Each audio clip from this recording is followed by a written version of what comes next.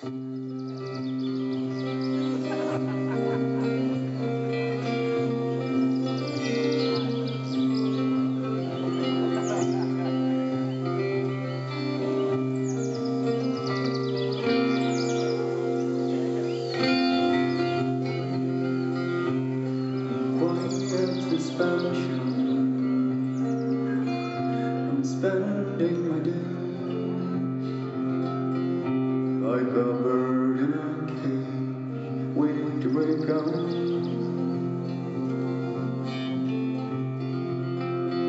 Sometimes I taste tasted freedom, like it is, when it sounds.